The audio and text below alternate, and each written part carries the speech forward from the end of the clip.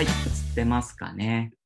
えっと、本日は、えー、っと、ガレージバンドというものを使ってえやっていきたいと思います。本日のアジェンダと言いますけれども、え進行はガレージバンドでどんなことができるのかっていうことと、それからガレージバンドに触れてみる。それから、えー、っと、よいしょ。で、曲を打ち込んでさらにアレンジするってことをやっていきたいと思います。で、早速ですが、ちょっとまた画面変わりますね。ガレージバンドで一体何ができるのかっていうところをちょっと見たいと思います。はい。この間ですね、その池田さんに紹介っていうかな、あの、Facebook 上で見せていただいたのに刺激を受けて、え本日行っているんですけれども、あの、この、この感じあるわけですが、まあ、パッと見、あの、ドレミファソラシドという感じはしないんですけれども、この中に、まあ、あのー、が入っております。まず一体何の曲かっていうのをちょっと聞いてください。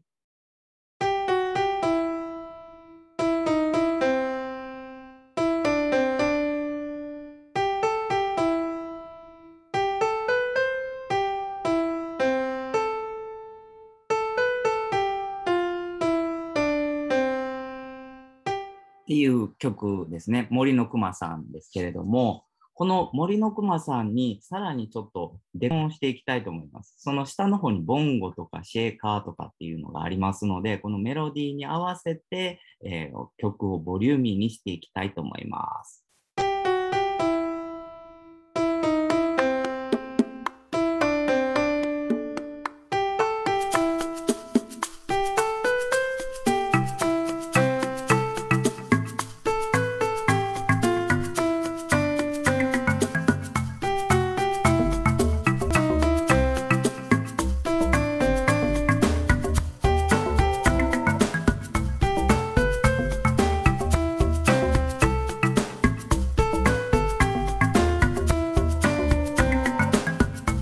っていう感じで、えっ、ー、と、少し森のくまさんがゴージャスな感じになったと思いますけれども、今日はこういう感じのものを、えー、作っていきたいと思います。それでは皆さん、ガレッジバンドというものを開いてください。今日はあの録画の関係上、皆さんの顔があの今表示されていないので、皆さんの様子はチャットとかで、えー、把握しながらいきたいと思いますのでお願いします。それでは曲を作成と押せば、こういうキーボードというのが出てきたと思います。大丈夫でしょうかね。はい。で、えっ、ー、と、スマートキーボードというものをまず扱ってみたいと思います。いけますか？で、今日ちょっとズームの調子が悪くて、なんか時々ブーンっていう音が鳴ったりするんですけど、皆さん大丈夫かな？はい。で、えっ、ー、と、この EM とか AM って多分 e マイナー、a マイナーって言うんだと思うんですけれども、これは、え、ー、とコードと呼ばれているそうで、まあ、例えばこれを G を押すと、こんな感じ。C を押すと、という感じで、まあ、コードというものが、まあ、いかれるわけですね。だから、例えば歌いながら、この G を押しながら、また次 C をしながらというふうにするだけで、まあ、曲がまできるというわけです。で、ちなみに、この上の方にオートプレイって書いてるとこわかりますかね？ここを今オフになってますが、例えば4とか、そうすると下の鍵盤あたりがちょっと変わっていけたと思いますが、これはずっと押さなくても勝手にオートプレイが行われます。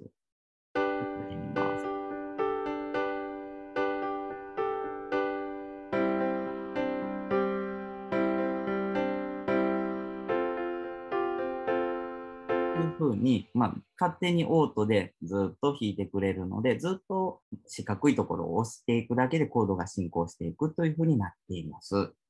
で、えっ、ー、と、まあ、こういうのもいいんですけど、まあ、見慣れたものに変形していきます。ここのボタンを押してください。ここ、ここ。そうすると、いわゆる、ま、鍵盤ですね。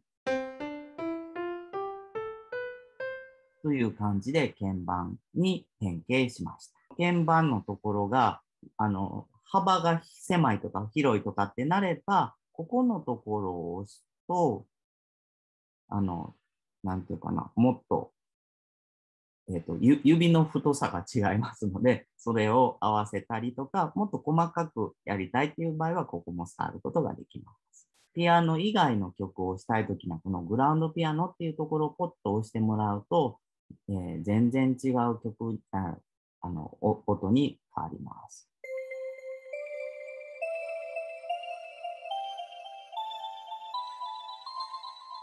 まあ、こんな感じですね。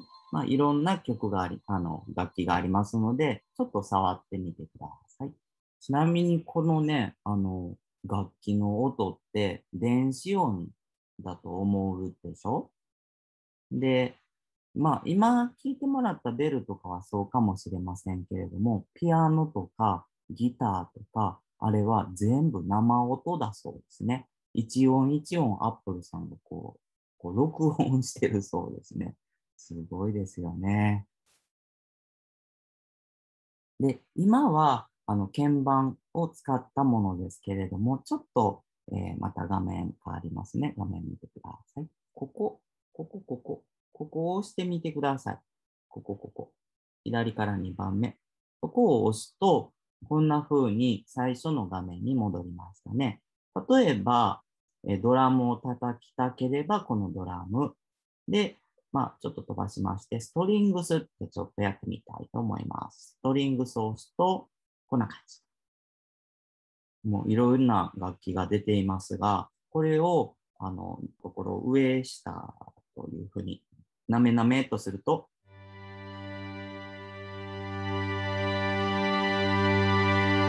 こうすると、まあ、弾いてるような感じになるわけですね。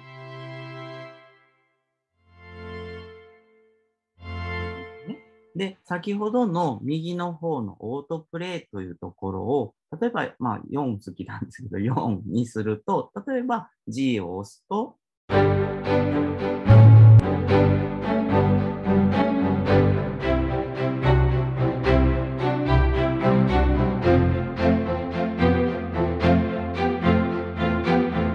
みたいな感じで、もうなんかもうそれだけで作曲できたような感じになりますよね。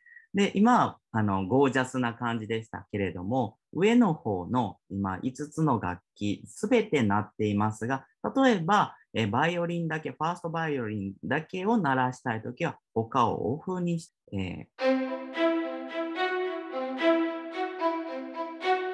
というふうに、その楽器だけ鳴らすことができます。いろんな楽器がありますので、ちょっとまた時間取りますので、ここからまた選んでみてください。いろいろありますよ。えー、3分ほど遊びたいと思います。はい。そしたら、あの、続いてですね、あの、いろんな楽器がもともと入ってるんですけれども、なんか身の回りのもので、例えば小学校だったら紙コップの中になんか BB 弾入れて、でガチャガチャガチャとかして楽器なんか作ったりしますけれども、よく似たことがこの iPad だけでできます。それがサンプラーというものですね。キーボードというところまでこうくるくるくるっと持ってきて、このサンプラーというところを押してみてください。サンプラー。サンプラーですよ。押すと、もともとは多分バークって入ってる。多分、超えるんかな？で、これをちょっとね、どう弾いてみると、なんか、泣いたの分かりますかね？こんな感じでね。みたいな感じでできます。なので、えっ、ー、と、今からこれですね、この瓶を叩いてみます。で、叩いたらどんな感じにサンプラーされるのか。ちょっと見てみたいと思います。サンプラーを使うのには、この右の方にめちゃめちゃでっかい赤色のボタンがあると思いますが、ここね。で、ここを押してから静かにします。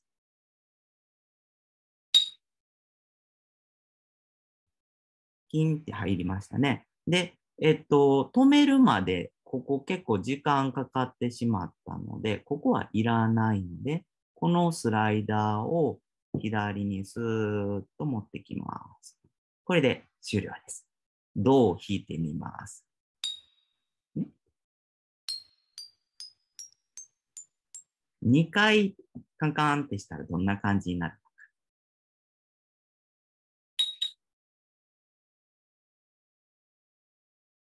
よいしょ。スライダーでやると、ドを押すと、なんか面白いですよね。とか、あとは人の声なんかもできます。いきます。ポチョン？ポチョン？ポチョン？ポチョン？ポチョン？ポチョン？ポチョン？ポチョン？ポチョン？ちょっと面白いですよね。はい。ちょっとサンプラーでなんかやってみてください。2分ほど時間取ります。何でもいいですよ。叩いてもいいし、紙をくしゃくしゃっとしてもいいし、いろんな発想で音を集めてください。例えば近くでカラスが鳴いとったら、カラスのカーカーで曲ができるかもしれませんね。例えば野菜の音とかってやるのも面白いかもしれないですね。あのキャベツの音とか、ピーマンとか、きゅうりを割った音とか。ちょっといっぺあのサンプリングしたもので、あの声出せる方はこう iPad こうマイクに近づけてもらって、どうでしょうかね。あの曲になってなくてもいいんですよ。ドレミだけでもいいので、どうでしょうか。披露していただける方いらっしゃいませんかで、よいしょ。で今はキーボードを使った感じですけれども、僕はそのドレミファソラシドってこう、譜面はギリギリ読めるけれども、打つのが難しい。しかもこのタイミングに合わせて押していくっていうのは、まあそうそう大変なことで、えっ、ー、と、さそうだね、打ち込み行く前にライブループスっていうところを見ていきたいと思います。キーボードの上の方にライブループスって書いてると思うんですけど、そこを押していただいていいですか？そうすると、あの、いろんななんかアイコンが出てると思うんですよ。で、えっ、ー、と、例えば好きなのをまあ選んでもらったらいいんですが、まあ、チャイニーズトラディショナルというのを1個選んでみます。ぐるぐるっとしたものがいっぱい出てきましたね。で、左の方に楽器がいっぱい出てきていますが、これをどういうふうにして使うのかというのをちょっと紹介しますね。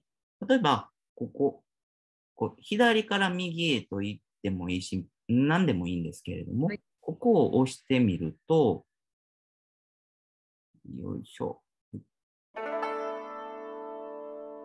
こんな感じで、ずーっとこう、曲がね、ずーっと流れるわけ。で音を足したければ、増えたと思うんですね。で、もう好きな感じで押してみる。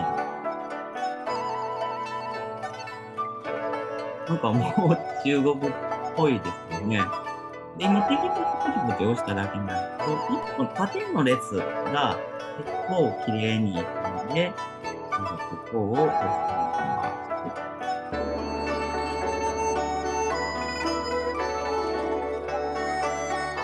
タイミングをよく押したらいいんやけど、ここは大体ね、曖昧に押しても大丈夫で、いいタイミングの時に次の感じになって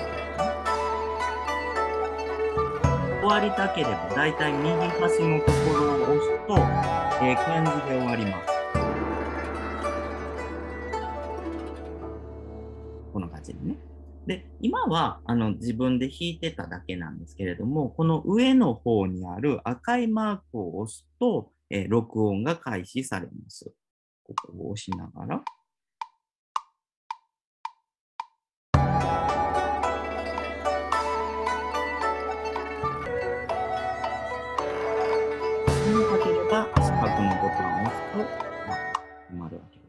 というふうにして、えっと、自由に演奏して楽しむのもいいし、まあ、しっかり録音するということもできます。ちょっとどんな楽器使ってもいいので、ちょっと試してみてください。3分ほど時間取ります。まあ、やりながら聞いてもらったらいいんですけれども、あの今、まあ、理科の、えー、授業をしていて、なんかムービーを撮らせて、で、ただムービーを撮らしただけじゃなくって、なんか音楽って結構ね、あの、感動を与えたりしますね。例えば静かな音楽だったら静かなムービーに思えるし、同じムービーでもなんか、デン、デン、デン、デンみたいな感じで、ドキドキするような音楽だと、また印象が変わるわけです。で、生徒にもそういった話をしている中で、まあ、iMovie とか Clips とか、あまあ、そこに入っている楽曲を使うこともできるんですけれども、時々、あの、生徒によっては、例えば画面収録などで、まあ、YouTube で、まあ、勝手に上がっている楽曲を、まあ、使うってね、あの、いう時もあります。まあ、自分で楽しむ分にはいいのかなというふうに思うんですけれども、それを、えっ、ー、と、公開したりだとかすると、これは、あの、著作権に引っかかるよというようなお話をしていて、まあ、それだったら、著作権に引っかからない手としては、もう自分で作ったら一番いいだろうよということで、えー、理科の授業なんだけど、ガレージバンドの使い方を教えて、え、やっています。で結構思い込みってあのあって、例えば高校の時に選択、芸術って選択制じゃなかったですか？皆さん。全部習えないですよね。あの音楽とか美術とか書写とか、あ書道かな。3択で、結果僕はあの美術を選んだんですけれども、あの音楽はもう絶対できへんなと思ってたんですね。なんか譜面も読めないし、弾けないし、習ったこともないし。やけど、大人になって、この、なんかいけるんちゃうかなっていうか、もともとなんか音楽は楽しいなという感覚はあったものの、まあ、ただ単に弾けないというだけで自分はできないと思ってたんですけども、あのー、ガレージバンドとか別にポチポチ押してるだけで曲風になるし、この後やるキーボードにあの、なんていうかな、こう、ピアノの鍵盤を実際に指動かしてやるんじゃなくて、打ち込みという感じで、あの、もともと打ち込んでおけば、その通りにメロディー弾いてくれるので、これはまた楽しいなと思って、だから意外と僕もできるんちゃうかなというふうに思っていますね。まあ、ただ、あの、それこそコード進行とかコードオフっていうんですかね、あんなんとか全く理解してないので、あの基礎があったらもっと広がるんだろうなというふうに思います。では、今こんな感じになったままだと思いますが、え戻るを押してください。で、えっと、ここ、いったね、いろいろな曲とか使いまくってるので、皿から、一番初めからやりたいと思いますので、左上のファイルマークを押してください。でここに戻ってきてください。で、えっ、ー、と、新しく曲を作っていきたいと思います。はい。で、まあ、ここ出てきたらトラックスを押してもらったら、ここへ行。あの、皆さんの Google クラスルームの方に、えっ、と、4曲ほど、あの、楽譜を置いておったんですけれども、どれか選んでくれましたかね？えっ、ー、と、どれだったっけな？えっと、メリーさんの羊、森の熊さん、ブンブンブン、蝶々、コンビニの入店音っていうどれでもいいんですけれども、まあ、1個選んでください。で、今から込んでいくんですけれども、あのちょっとこうこんな感じにしといてください。あの、写真として、まあ、取り込んでもらって、この写真から、まあ、自由に選べるようにしといてください。こんな感じでね。この写真の中に入れといてください。きましたか？では、えー、いきたいと思います。スマートキーボードかな、ここを押してください。で、コードのところが出てきたので、えー、右の、右のこここですね、押してもらいます。と、ここを押してください。で、ここんな感じになりましたよね。では、えー、ずずずずずずずずずと左上、ここ見てください。ここ、ここ。ここの左から3番目を押します。そうすると、こんな感じになったかと思います。で、今、楽器が1個、まあ、が置いてあると思いますが、楽器が1個、で、ここが空白になってると思うので、ここで1回タップします。そうすると、編集って出てきたと思います。編集をします。そうすると、なんかビローンと広がりましたね。左の方に鍵盤が出ています。で、幅がこんだけしかありませんけども、ドラッグするとこう上にも移動できますので、このつもりで。で、これ左から右へと、え音が進んでいきます。で、今、この、えっ、ー、と、ここら辺をタップしても特に何も起こりませんよね。で、それは、この左の上のところにロックがかかってるからです。で、今からロックを解除してください。スワイプしてロックを解除。そうすると、ドって押すと、なんか音が入ったと思います。で、間違えたなっていう時は、もう一回ポッて押すと消えてくれます。ここまでいけますか？で、C って書かれてるところが銅です。今ここ C4 って書いてる。この高い銅ですね。低い銅はこの感じ。ここまでいいですか？で、えっ、と、ちょっと写真を下からぴょんと出します。で、右にぐーっとドラッグすると、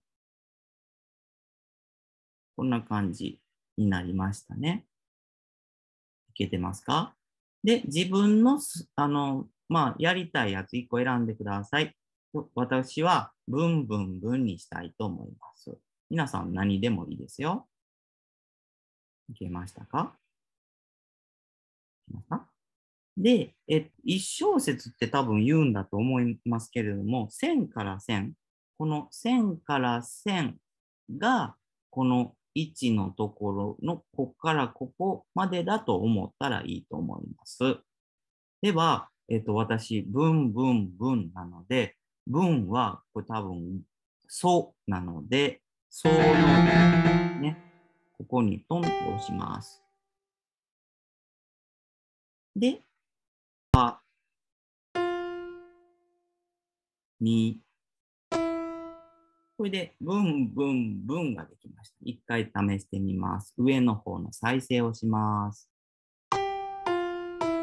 あ、もうブンブンブンができましたよ。で、えっ、ー、と、今、四分音符なので簡単なんですが、今度8分音符がこうつながった感じになりますので、えっと、長さが違います。そこで、えまず0を押します。8が飛ぶの。これね、0。で、その8分なので短いんですよ。なので、ここのなんか白いとこありますよね。なんか、ね。この端っこを押しながらドラッグすると短くなります。で、えー、8がのみやからこうか。で、ずれちゃったら、ドラップしたらいくらでも動きますので、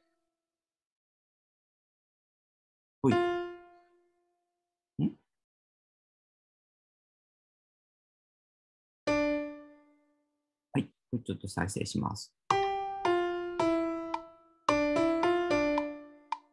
ブーが欲しかったですけど、こんな感じでね。はい。ということで、今から、えっ、ー、と、15分ほど時間取りますので、えっ、ー、と、一平打ってみてください。で、えっ、ー、と、これ、指押しにくいなってなったら、ピンチイン、ピンチアウトで横にこう、わかります？こう、広がったり、拡大できますので、そんな風にしてみてください。で、もし、8小節よりも長くなるような場合は、右の方にプラスというところがありますので、このプラスを押して、えー、セクションの数を増やあの、どんどん長くできますので、そのようにやってみてください。今から15分ほど取ります。はい、今、この画面になっていると思いますけれども、え右上の完了を押してください。はい、そうすると、ここに戻ってきました。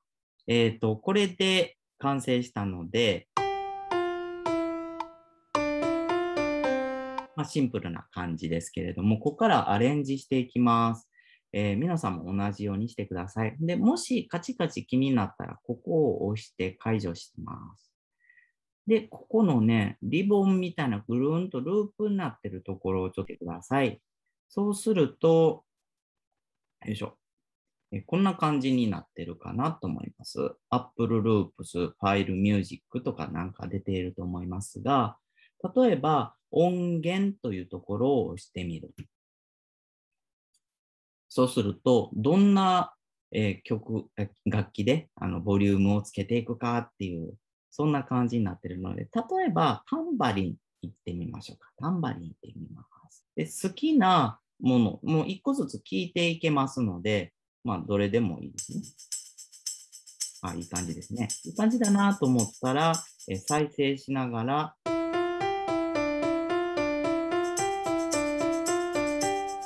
ドラッグします。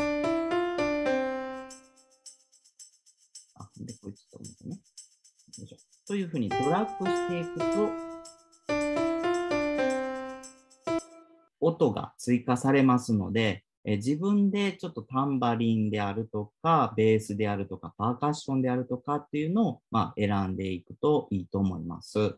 で、ただ、あの、池田さんに教えてもらったのは、ジャンルをちょっと揃えた方が、なんかいい感じでまとまり感があるよというふうに教えていただいたので、まあ、ちょっとジャンルも絞ってですね、やってもいいかもしれませんね。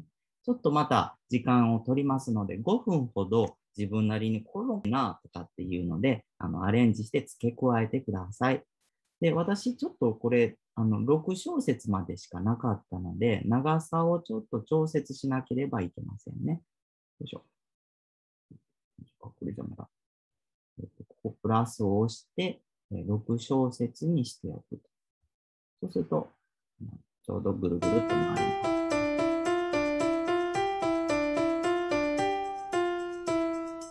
という感じで、あの、ちょっと自分なりにアレンジしてみてください。まあ、本当にこれ無限の組み合わせですからね。なんていうかね。うん、原曲は全員同じかもしれへんけど、本当にもう、最初に何を選ぶかでもうすでに変わってますからね。で、何個音を入れるかっていうの決まりはないのでね、あの、静かにしてもいいし、ゴージャスにしてもいいし。えっと、まあ、こんな感じで、えっと、仕上げたかと思います。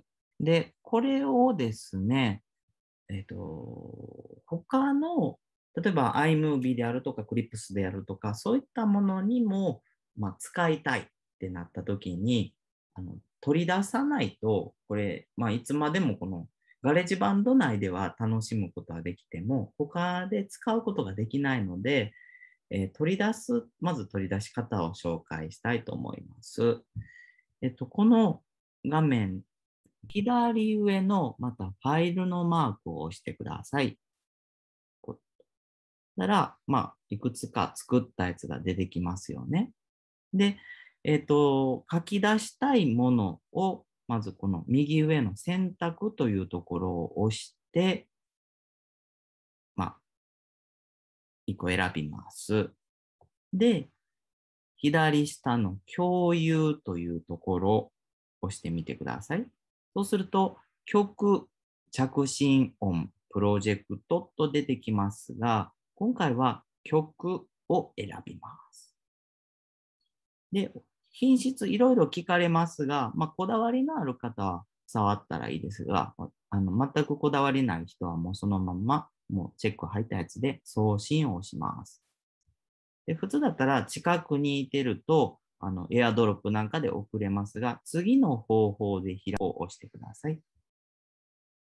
で、一旦、え曲を書き出してくれます。で、長い曲だったら長いかもしれませんが、短い曲だとすぐかな。で、書き出した後、えっとね、ファイルに保存してください。で、えー何かのフォルダーに入れます。えっと、一個手前のところにいろんなアイコンが出てきました。Movie、Clips。まあ、ここからも直接そのアプリにビュッと入れることもできます。ですが、今回は一度曲だけを取り出す方法を紹介しています。で、なんあと私は何でも入れというところに保存しました。そうすると、えファイルの中の何でも入れというところに、えどこかにこの曲が入っていると。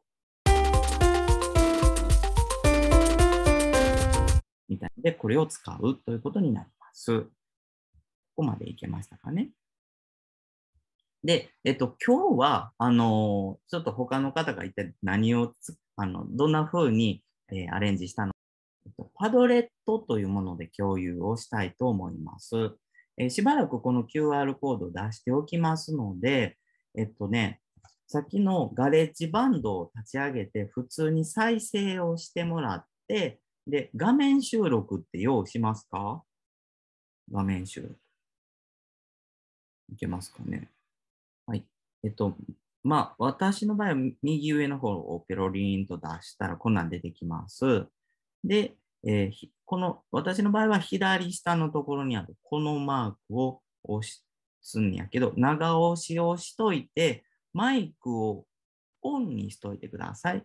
で、その状態で録音開始というふうにしてください。今はちょっとこの、この、なんか、ズームやりながらは無理みたいで、皆さんは多分いけると思います。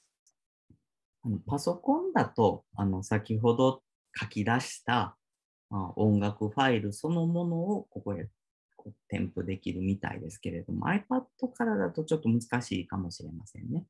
設定のところからコントロールセンターというところを押してもらっで、多分この辺に、ちょっとやってみましょうか。画面収録ってどっかにあるはずなので、画面収録のプラスを押します。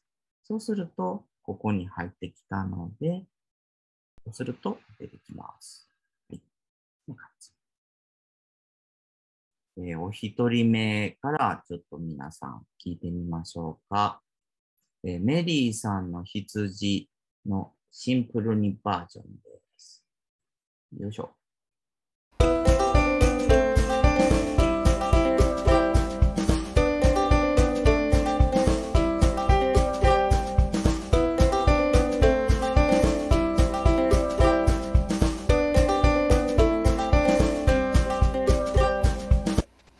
素晴らしい。カントリー、カントリー。素晴らしいですね。続いて、えー、こちら行きましょうか。山田さん、いきます。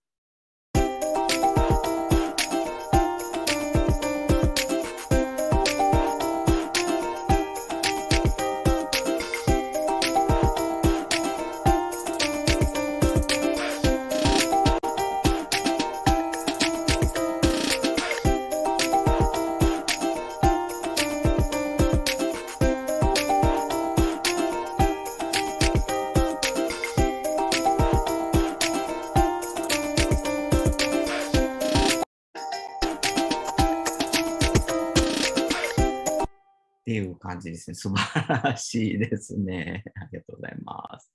続いてです。えっと、コンビニ音できました。いきます。もう一回いきますね。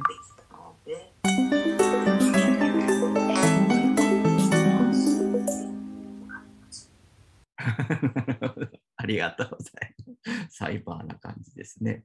続いて、メリーさんの羊2つ目のバージョンです。こっち行きましょうか。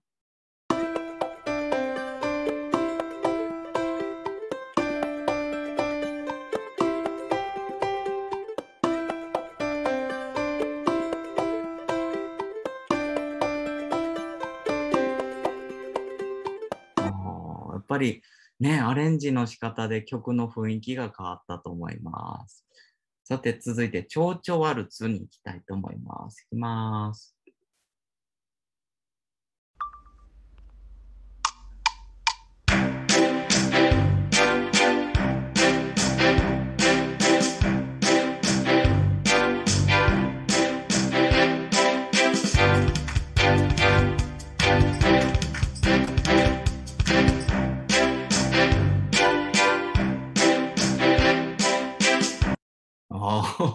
すごいですねが続いて、えこれですね。日曜日が憂鬱なあなたに激しめなサザエさん一家という作品を見たいと思います。どんなんやねんっていうね。何でしょうか。いきます。はい。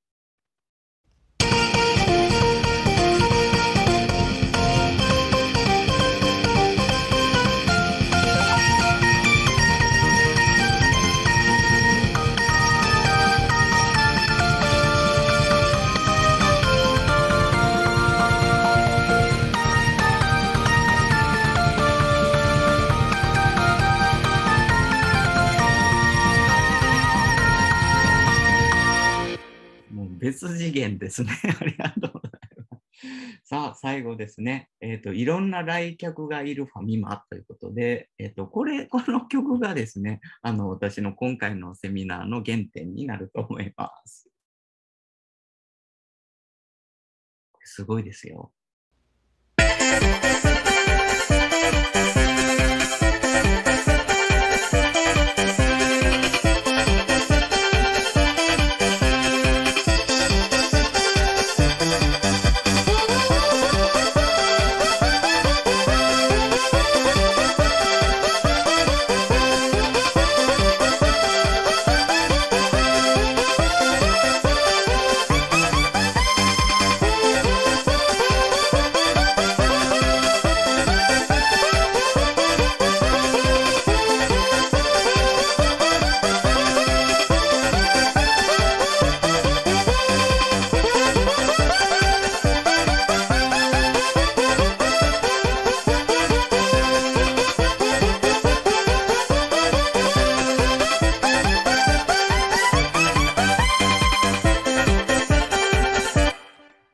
ですね。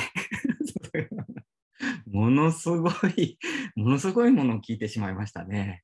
まあ、こんな風に皆さん同じものを使って、えー、やりましたけれども、それぞれの人で、えー、アレンジの仕方が変わって楽しめたかなというふうに思います。さて、えー、っと、以上で、えっと、セミナーを終わりたいんですけど、皆さんどうでしたかね？結構楽私は楽しかったんですけど ね、あの、ぜひね、この楽しさをいろんな人にあの広げて伝えていっていただけたらなというふうに思います。